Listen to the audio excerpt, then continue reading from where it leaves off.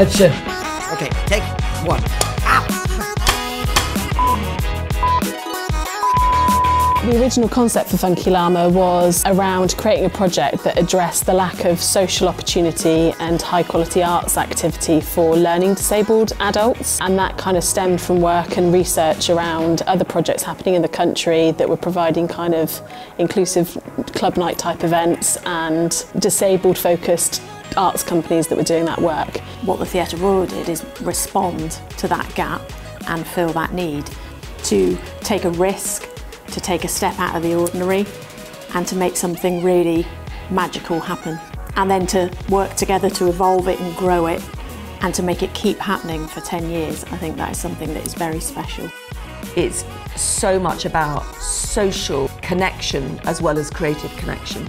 To mark 10 years of Funky Llama, we're doing 10 events of varying scale across the year. One of the events, we're actually going way back to a pilot project that happened for Funky Llama back 13 years ago called the Funky Llama Cabaret Nights, where a community of disabled artists came together and performed in the Drum Theatre for an evening. So one of our events this year is to revisit that which is an event that loads of the staff here at the Theatre Plymouth still speak so fondly of 13 years later. We've just watched the Funky Llama Cabaret. Such a variety of acts, and it was a great entertainment for, for everybody, and everybody contributed, which was great. I think it puts the funk into Funky Llama and it culminates the 10 years well. Spike, he's very good. And the girl, the aerial act, she was absolutely fantastic. Oh, yeah, she was good. And we loved the last act. You were signing, weren't you, Yeah. to Yeah. Don't Stop Me mm. Now? Yeah. Yeah, we were, weren't Yeah, you? yeah. It was cool, good fun, wasn't Yeah. it? I think it was just about what it, Funky Llama encapsulates the fun, the enjoyment, what it brings to the people. It's just a big celebration. So one of the brilliant things about my job is getting to work on the steering group with sort of 12 to 15 brilliant um, members of the community who sort of with them we decide what happens on the programme, how we do it, um, how we can make it better, how we can make it more interesting. And yeah, it's that real collaboration at its heart and just joyful and fun. It's beautiful. I love it. The Funky Llama Steering Group is essentially the driving force of the project we all sit around and we talk about what we want for the disabled community but also for the arts. As we've progressed over the 10 years, it's really about disabled artists being at the forefront of what we do and the Funky Llama steering group. Each year we've had, we've been really privileged to work with different extremely talented disabled artists and see their journey kind of grow over the, the 10 years.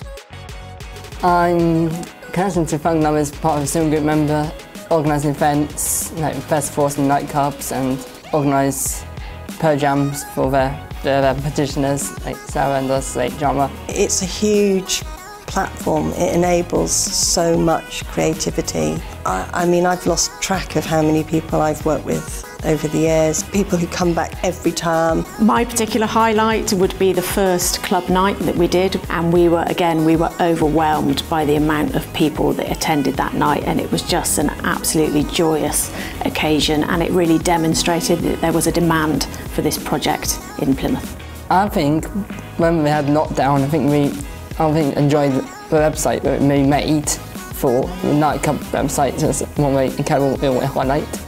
That was my favourite highlight, but I think the club night might be another one. And the festival last year when we did a Halloween version.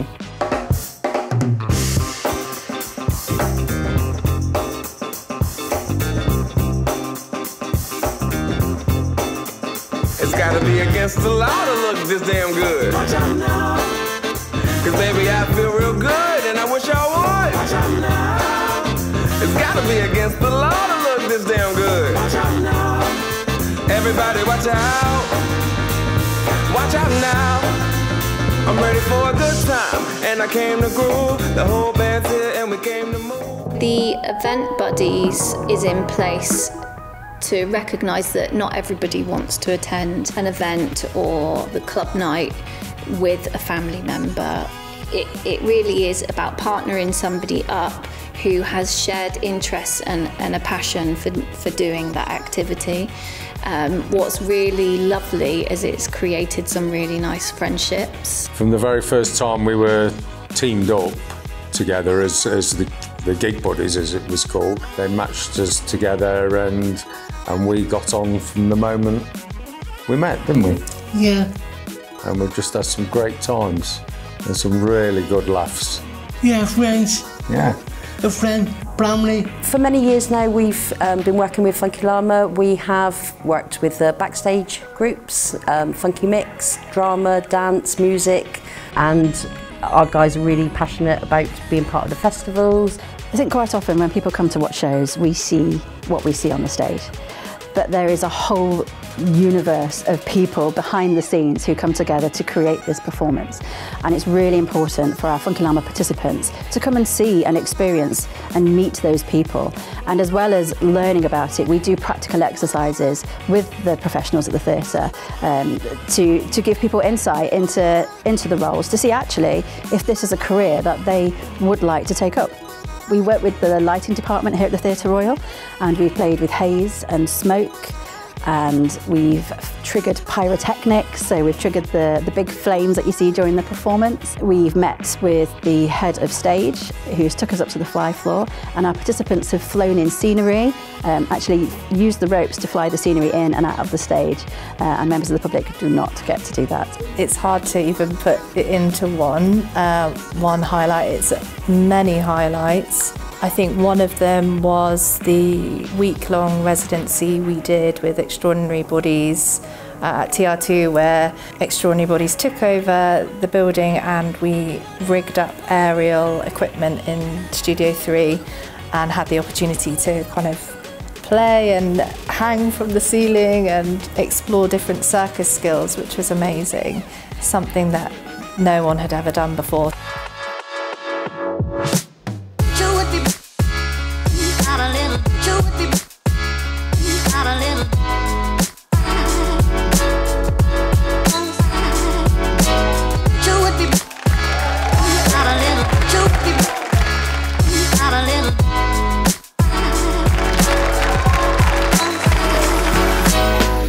I'm an aerialist. I'm also an amputee.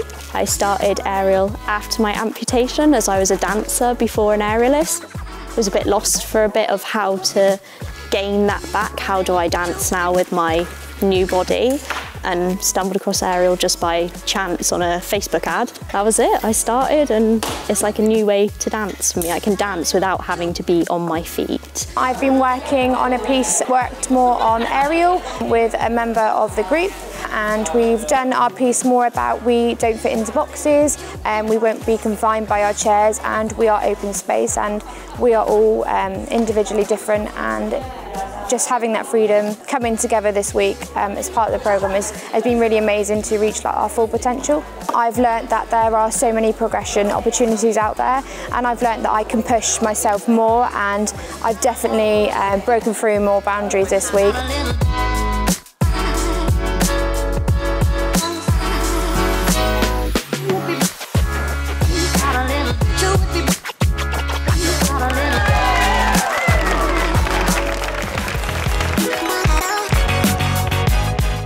I think Funky Llama has become a movement. I think what's really important is the way that Funky Llama has impacted what you might call the mainstream sector. Subsequently, a lot of the events of Funky Llama have happened all over the city.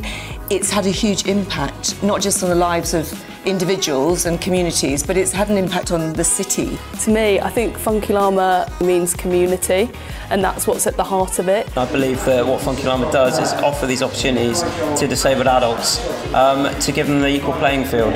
Not to put like cheesy words to it, but it has changed my life in the best sense because it kind of like made me recognize to get me out of my little comfort zone. Go on, Steve, what did you say?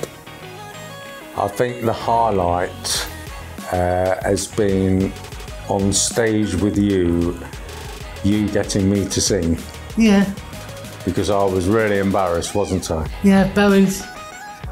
And you got me to sing with you on stage Yeah, and helped me lose my inhibitions. And we sang, do you remember what song? yeah. Greased Lightnin'.